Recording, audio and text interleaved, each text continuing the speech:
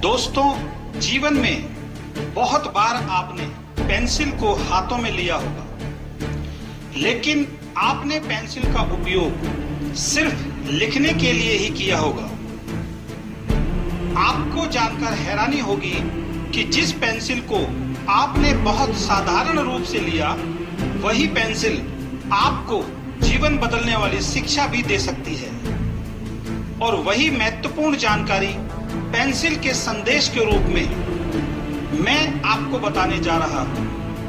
Pencil बनाने वाले ने पेंसिल को बनाकर डब्बे में रखने से पहले उससे कहा इससे पहले कि मैं तुम्हें संसार में लोगों के हाथ में सौंप दूँ, मैं तुम्हें पाँच बातें बताने जा रहा हूँ जिन्हें तुम हमेशा याद रखना। तभी तुम दुनिया की सबसे अच्छी पेंसिल बन सकोगी। पहली बात तुम बहुत से महान विचारों और बहुत सी श्रेष्ठ चीज़ें करने में समर्थ होगी। लेकिन इसके लिए तुम्हें खुद को दूसरों के हाथ में सौंपना पड़ेगा। दूसरी बात, तुम्हें समय समय पर बेरहमी से, चाकू से छीला जाएगा। लेकिन एक बेहतरीन पेंसिल बनने के लिए तुम्हें यह सब कुछ सहना पड़ेगा। तीसरी बात, तुमसे बहुत सारी गलतियाँ होंगी। लेकिन तुम अपनी गलतियों को जब चाहे सुधार सकोगी। चौथी बात, तुम्हारा सबसे महत्वपूर्ण हिस्सा बाहर वाला नहीं, तुम्हारे भीतर वाला होगा। और पांचवी बात, तुम्हें जिस सतह पर भी इस्तेमाल किया जाए, उस सतह पर तुम्हें अपना निशान छोड़ना पड़ेगा। चाहे स्थिति या परिस्थिति कैसी भी हो, तुम्हें लिखना जारी रखना पड़ेगा। पेंसिल ने इन पाँचों बातों को समझ लिया और कभी ना भूलने का वादा किया और फिर वह डिब्बे के भीतर चली गई। दोस्तों, अब उस पेंसिल के स्थान पर आप सब अपने आप को रख के देखिए। उसे बताई गई पाँचों बातों को याद करें, समझें।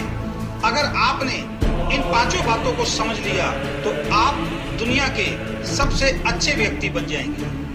पहली बात आप भी दुनिया के अच्छे और महान कार्य कर सकते हैं। लेकिन ये तभी होगा जब आप अपने आप को किसी ऐसे व्यक्ति के हाथ में सौंप दें जो आपको तराश सके, आपको महान बना सके। उदाहरण के तौर पे, सचिन तेंदुलकर दुनिया के सबसे महान प्लेयर बने। वो महान प्लेयर इसलिए बने क्योंकि उन्होंने अपना पूरा जीवन अपने कोच के हाथों में सौंप दिया। तो अगर आप भी महान बनना चाहते हैं तो आपको भी अपना जीवन किसी के हाथों में सौंपना पड़ेगा। दूसरी, आपके साथ भी समय समय पर कटुतापूर्ण व्यवहार किया जाएगा। आपके जीवन में भी बहुत सारे उतार चढ़ाव आएँगे, लेकिन जीवन में बड़ा काम करने के लिए आपको ये सब कुछ झेलना होगा।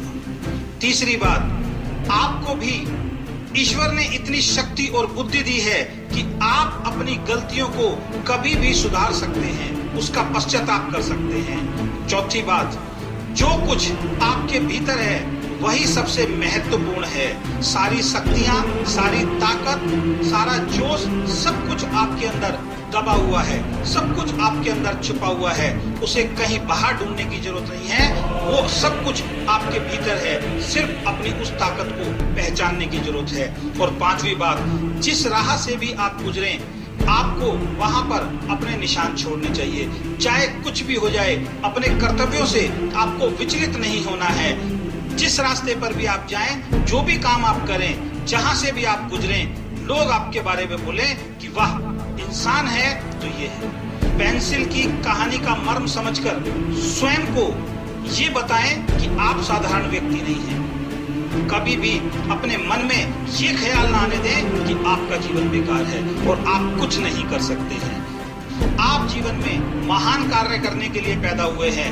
इस जीवन के अंदर आप बहुत बड़े बड़े कार्य कर सकते हैं। और एक बात हमेशा याद रखें और अपने आप से हमेशा बोलते रहे कि कामयाबी और सफलता मेरा जन्म सिद्ध अधिकार